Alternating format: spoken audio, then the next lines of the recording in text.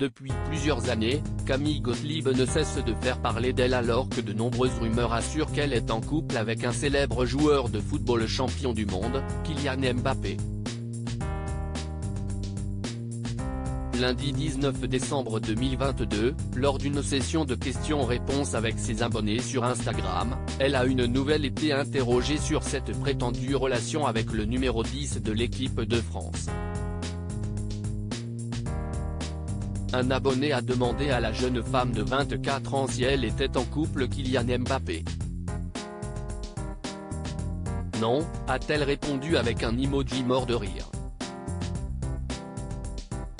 Seulement, quelques minutes plus tard, elle a eu la même question. De quoi agacer la fille de la princesse Stéphanie de Monaco et de son ancien garde du corps Jean-Raymond Gottlieb.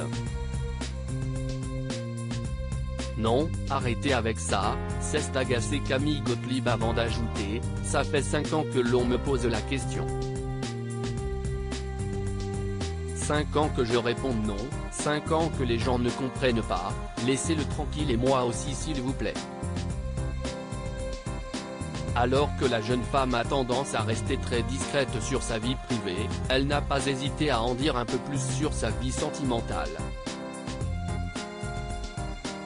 Elle en a même profité pour révéler qu'elle était bien en couple, mais pas avec Kylian Mbappé.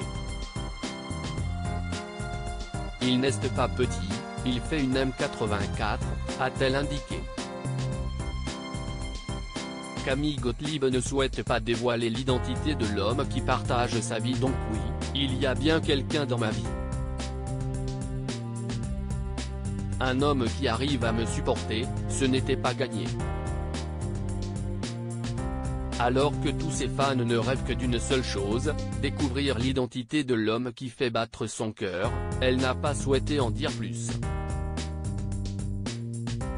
Ce n'est pas encore dans les projets, on préfère la garder pour nous, a-t-elle précisé.